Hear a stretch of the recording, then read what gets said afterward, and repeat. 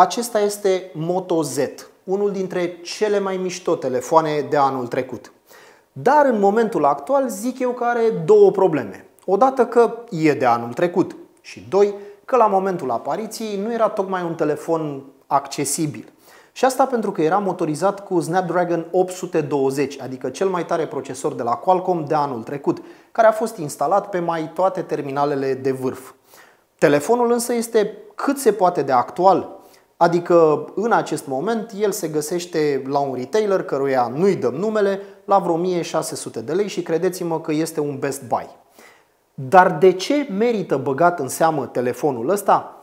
Pentru că este primul telefon modular cu adevărat. Și aici o să săriți în comentarii și o să ziceți că domnule, că stai, că Google, că Project ARA, că povești, că LG G5. Nu. Niciunul dintre aceste proiecte nu s-a finalizat sau nu s-a finalizat cum trebuie. Haideți să le luăm pe rând. Project ARA a rămas la stadiul de project. Adică Google n-a mai făcut nimic cu acel design. Sigur, era o idee interesantă să poți schimba diverse componente, foarte mișto, dar ca multe alte proiecte, de, ca multe alte proiecte Google, a rămas suspendat. LG G5. L-am testat la momentul respectiv. N-am spus că era un telefon rău, însă, pe de altă parte, modul în care înlocuiai acele module era unul extrem de dificil. Nu stă nimeni să extragă din telefon modulul pentru a înfige un alt modul și a restarta telefonul și a face toți acești pași. Adică procesul era cât se poate de greoi, motiv pentru care cei de la LG înșiși au abandonat acest uh, tip de design. Și ajungem la Moto Z. La momentul apariției acestui telefon, noi l-am testat chiar atunci și am rămas cu gura căscată. De ce? Pentru că era primul telefon modular cu adevărat funcțional. Pur și simplu luai un modul, se atașează și gata. Din punctul meu de vedere, telefonul ăsta a avut o singură problemă, dacă este să mă întrebați. Lipsa de promovare. Nu a fost promovat atât cât ar fi meritat, nici de către Motorola, nici de către actualul posesor, adică Lenovo. Și ajungem la subiectul acestui review, care este de fapt Moto Z2 Play. Așa că dăm la o parte strămoșul acestui telefon și discutăm despre Z2 Play. Îl vedeți, este aici. Vom începe să discutăm întâi despre telefon și după aceea despre module și ce, aduce, ce aduc aceste module în plus la funcționalitatea telefonului.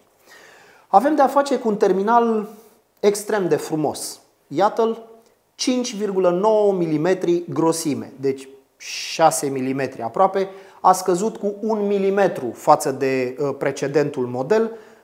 Mă rog, ar, ar putea părea nesemnificativ. Din păcate însă această scădere în grosime s-a făcut în detrimentul bateriei, pentru că precedentul model avea o baterie un pic peste 3500 de mAh, cel de față are 3000. Este o cantitate destul de însemnată care în teorie s-ar putea răsfrânge asupra duratei de viață a bateriei, dar cei de la Motorola spun că prin optimizarea sistemului de operare și prin multiple alte optimizări făcute în softul telefonului, ei bine, teoretic durata de viață a telefonului în utilizare s-ar putea apropia de precedentul model ține cam o zi în testele noastre de utilizare medie, deci nu, nu intensivă. La povestea asta cu durata de viață a bateriei, cel mai probabil contribuie și sistemul de operare, despre care Motorola spune că este foarte bine optimizat. Oricum, avem de a face cu un Android aproape stock, un lucru care nouă ne place foarte tare, fără bloatware, fără aplicații uh, inutile. Dacă am nevoie de ceva, îmi instalez singur. Avem un Android 7.1.1 pe el, iar Motorola spune că în viitorul foarte apropiat vom primi actualizare la Android 8. Bun, telefonul se mișcă bine, fără pic de lag și asta pentru că avem un procesor Snapdragon 626. Repet, acesta este Z2 Play, adică nu este varianta de vârf, o variantă la un preț puțin sub 2200 de lei și spunem noi că la banii ăștia telefonul ăsta este un best buy, fiind unul dintre cele mai bune mid-range-uri pe care am pus uh, mâna până acum. Snapdragon-ul ăsta 626 este acompaniat de 3 sau 4 GB de RAM și de 32 sau 64 de GB stocare. Aici, deci telefonul pe care mă joc eu în acest moment este varianta cu 64 de giga stocare și cu 4 GB RAM. Telefonul păstrează uh, stilul uh, precedentului model, adică al lui Moto Z. Iată-l aici. Uh, mie mi-a plăcut foarte tare pentru că trebuie să recunosc că majoritatea celorlalte telefoane sunt copii după alte branduri. Motorola se pare că și-a găsit o direcție și ăsta nu este un lucru rău, o direcție de design cu această cameră rotundă pe spate. În uh, cazul lui Z2 Play avem și un uh, inel metalic. Avem aici uh, partea de contacte unde se atașează modulele, destul de discretă și de elegantă, nu mă deranjează, telefonul poate fi folosit și așa cum este. Regăsim butoanele de volum și power pe partea dreaptă, pe margine. Sus avem avem sloturile pentru SIM și micro SD. Da, puteți să extindeți stocarea cu un uh, card micro SD. Sigur, uh, au mutat locul uh, de pe partea dreaptă pe partea stângă în cazul lui Z2 Play și mufa de încărcare USB Type-C în partea de jos a telefonului. Um, da, este aluminiu, telefonul arată foarte bine, suprafața se simte fain. Au modificat într-adevăr partea asta din spate la Z2 Play, nu mai este acum magnet de amprente, așa cum se întâmpla în cazul lui uh, Moto Z normal. Cred că se poate vedea chestia asta cu ochiul liber. Acum avem de a face cu o suprafață care, pe care este ceva mai greu să lași urme. Și ajungem la partea din față, un alt punct forte al uh, acestui telefon, partea de ecran. Avem un AMOLED Full HD care arată foarte, foarte mișto, extrem de luminos și de arătos. Ce au mai modificat? S-a schimbat forma butonului de Home, care era mic și pătrat în cazul lui uh, Moto Z, care a devenit uh, oarecum a devenit oval în cazul lui uh, Z2 Play. Mm, trebuie să recunosc că nu mă dau un vânt după această schimbare, pentru că forma asta ovală a butonului de Home mi-aduce aminte de telefoanele Samsung, iar povestea asta cu micul buton pătrat deasupra căruia scria Moto era ca un soi de amprentă personală a celor de la Motorola. Uh, butonul nu este fizic, este buton tactil, dar reacționează foarte, foarte bine și are integrat și senzorul de amprentă. Tot jos, în, uh, lângă mufa de încărcare, lângă acel USB Type-C, regăsim și un jack pentru căști de 3,5 mm, așadar cei de la Motorola au decis să păstreze uh, acest jack pentru că probabil în continuare foarte multă lume folosește astfel de căști. Pe de altă parte, eu consider că ar fi putut renunța la el, dat fiind că în acest moment există pe piață o ofertă suficient de bogată de căști wireless sau de căști, sau de um, căști ce pot fi băgate pe USB Type-C și care au dacuri chiar mai bune decât uh, se, regăsește, se regăsesc în acest uh, telefon. Dacă este să ne uităm tot la partea din uh, față, vedem că de asemenea flash-ul a fost mutat de pe partea dreaptă pe partea stângă. Avem aici un flash destul de mare, dual tone, pentru selfie-uri cât se poate de bune și trebuie să recunosc că mă interesează toată această poveste foarte puțin spre deloc. Nu sunt un mare amator de selfie-uri, dar probabil că sunt destui cei interesați de treaba asta. În ceea ce privește uh, capabilitățile foto ale camerei, cred că foarte importantă este cea din spate. Uh, numărul de megapixele a fost redus și zic eu că e o chestie bună. Dacă pe Moto Z aveam o cameră de 16 megapixeli, pe Z2 Play, la aceeași dimensiune de senzor, avem o cameră de 12 megapixeli, ceea ce înseamnă pixel mai mari, automat luminozitate ceva mai bună. Și mai există o creștere în uh, capabilități față de precedentul model atunci când vine vorba despre cameră. Expunerea de pe Z Play era f2, pe Z2 Play este de 1,7. Așadar o cameră de 12 mm, megapixeli cu f1.7, o cameră cât se poate de luminoasă. Haideți să intrăm un pic în uh, setările camerei. Camera este extrem de simplă, iată, minimalistă, aș putea spune. Uh, filmează video 4K, uh, o cameră cât se poate de simplă, cât se poate de intuitivă, curată, luminoasă, care reacționează destul de repede și destul de bine. Ok, avem și posibilitate de HDR, pe ea și, de asemenea, modul Pro, deci modul profesional, în care putem modifica manual, white balance, cum bine puteți vedea, ISO, deci sensibilitatea, compensarea expunerii și multe, multe alte lucruri. Interfața mi se pare destul de interesantă. Uh, le poți controla practic de pe ecran pe toate. Ceea ce lipsește acestui terminal este fotografia RAW, pe care ne-am fi dorit-o, dat fiind că în acest fel pot fi modificate ulterior fotografiile mult mai bine decât o poți face pe un JPEG. Sigur, pentru majoritatea utilizatorilor este o chestie nesemnificativă, mai ales că fotografiile în format RAW ocupă spațiu destul de mult. Dacă totuși țineți neapărat la această opțiune, vă puteți instala o aplicație gen Pro Camera, foarte bună, care vă permite și fotografiere în format RAW, pentru că telefonul oricum duce și camera suportă. Și acum să revenim la aspectul cel mai important al acestui telefon, cu care de altfel am și început acest mega review. Modulele.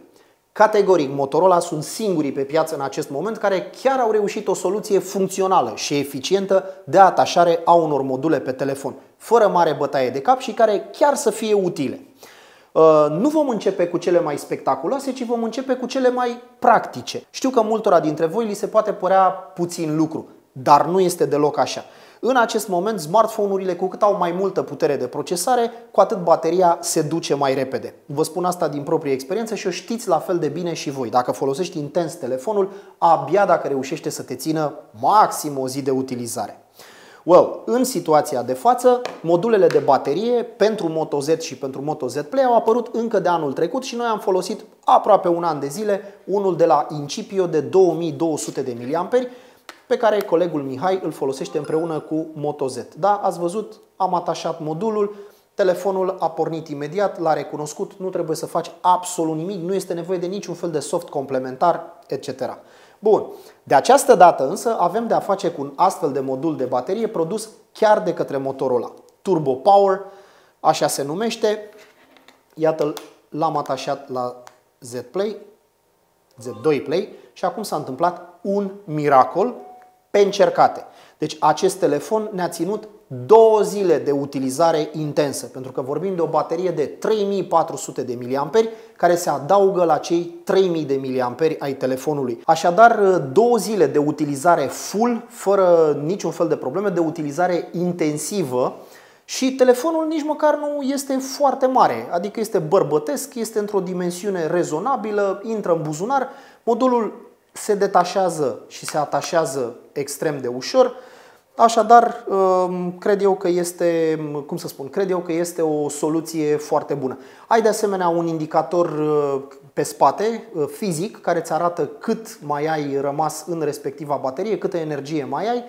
Um, o soluție extrem de elegantă și de eficientă. Modulul se atașează și se detașează extrem de ușor nu ai nevoie de nimic uh, suplimentar. Are de asemenea uh, propria lui mufă de încărcare, așadar poate fi încărcat uh, separat de telefon. Aici mai avem de asemenea o interfață de încărcare wireless care merge pe orice fel de device de quick charge. Pur și simplu se atașează și ea cu mare ușurință pe spatele telefonului. Gata l-a recunoscut și în momentul ăsta telefonul este good to go, adică poate fi pus într-un uh, charger wireless, indiferent de compania producătoare, orice charger wireless funcționează pe acest telefon cu acest spate, care printre altele arată și foarte bine, așa cum puteți vedea. Și acesta se detașează cu mare ușurință și cu asta basta. Și acum haide, haideți să trecem la, la artileria grea. Anul trecut, uh, unul dintre cele mai interesante module pe acest telefon a fost cel produs de uh, JBL, acea boxă, care acum a ajuns la varianta 2. Nu mai este nici atât de mare, are o baterie proprie, așadar uh, boxa consumă în primă fază din bateria sa, după care în momentul în care se golește, petrecerea poate continua deoarece ea se va alimenta din bateria telefonului. Sigur, nu știu dacă e indicat să faceți chestia asta pentru că nu vă va ține prea mult și va suge destul de repede bateria din telefon, Dar este bine de știut că în momentul în care își termină bateria proprie, boxa începe să tragă din bateria telefonului. Am atașat uh, modulul de pe spate, avem două difuzoare a câte 3W fiecare, deci destul de puternic și haideți să vedem cum se aude muzica. Volumul poate fi reglat uh, direct din telefon. Cam asta este sunetul pe care îl poate scoate această boxă. Am ales muzică royalty free, asta e. Dacă vreți să testați muzică cu drepturi de autor, trebuie să o faceți voi înșivă. Oricum, haideți să facem o mică comparație. De asemenea, nici pentru această boxă nu îți trebuie soft suplimentar. Așa se aude telefonul. Este la volum maxim. Bun. Și acum, haideți să atașăm modulul și să vedem încă o dată diferența.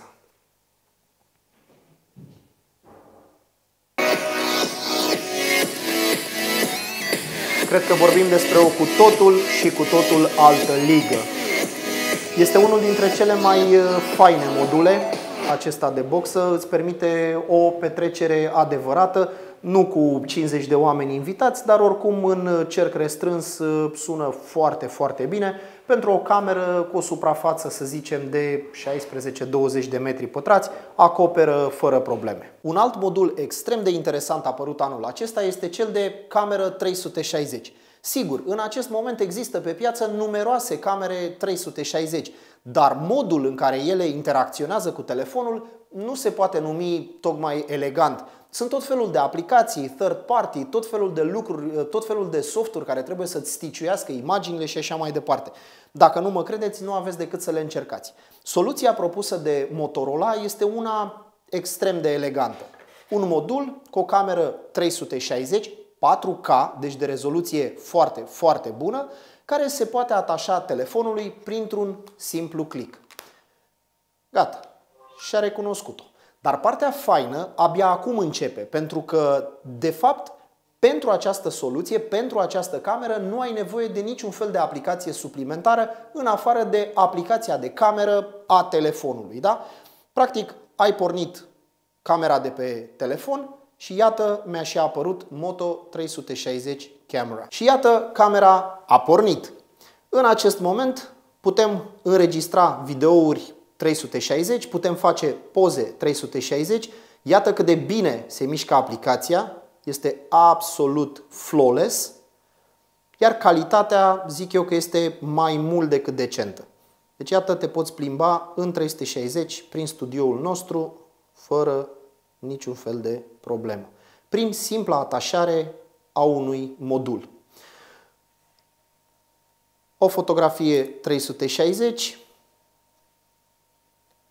și din acest, uh, din acest meniu poți face switch între camera 360 atașată telefonului și camera normală, obișnuită a telefonului. Iată, acum suntem din nou pe 360. Ok. And it's working. Și bunătățile nu se opresc aici. Pentru camera 360 Poate fi accesat și modul Professional, așadar poți modifica, după cum bine puteți vedea, ISO, White Balance, o mulțime de setări manuale. Iată. De asemenea, camera asta mai are niște capabilități pe care multe dintre camerele 360 de pe piață nu le au. Și anume faptul că poți folosi când un obiectiv, când celălalt. De exemplu, poți să faci o poză ultra-wide Iată. Am și făcut-o. Bun. Și iată acum folosesc cel de-al doilea obiectiv pentru selfie în momentul în care ești cu un grup de oameni și îți dorești ca toți să intre în fotografie. Asta este cea mai bună soluție posibilă. Este o cameră cu un unghi de deschidere foarte, foarte mare, expunere bună, rezoluție bună și un modul pe care îl poți folosi elegant, un, un modul extrem de ușor de, de utilizat. Bun, iată, comuta în momentul ăsta sunt în camera 360, comut de pe o cameră pe cealaltă. și apoi pot să trec cu mare ușurință chiar pe camera telefonului. Iată cât de mare este diferența de deschidere. Bun. Facem și un selfie. Vorbim de o cameră cu o deschidere de 150 de grade, deci un unghi cât se poate de larg. Este unul dintre modulele mele preferate, îmi place foarte, foarte mult și mai ales îmi place ușurința în utilizare. Iată cât de mare este diferența de câmp vizual. Ok. Și ultimul, dar nu cel din urmă modul, este unul care a apărut anul trecut și care este un pic exotic, un pic diferit. I-am făcut și review la momentul apariției. Cred că puteți găsi pe zona it.tv respectivul review. De ce spun exotic? Pentru că este un proiector. Acest proiector este extrem de ușor de atașat, ca toate celelalte. L-am conectat, l-a simțit, Motomod Connected, așa cum se vede. Are aici un buton de pornire în lateral. Ok? Bun. Și iată imaginea pe care o proiectează. Lawbreakers reprezintă efortul lui Cliff IB, dar Iată imaginea pe care o proiectează acest mini proiector. Și gândiți-vă că în acest moment există lumină destul de puternică în această încăpere și imaginea arată foarte bine, suficient cât să poți arăta prietenilor un clip sau, eu știu, unui client, dacă vrei să-i arăți ceva, un video, foarte, foarte fain. De aici mai există un, o rotiță, iată, de aici se poate regla focusul proiectorului în funcție de distanța la care îl plasezi. Ok. Și acum imaginea este full în focus, așa cum sper că se poate vedea pe cameră. Se vede? Da. Ok. Acesta a fost modulul de proiector. A apărut deja de ceva vreme. Acum, sigur, discuția este o discuție importantă, este cea legată de prețuri.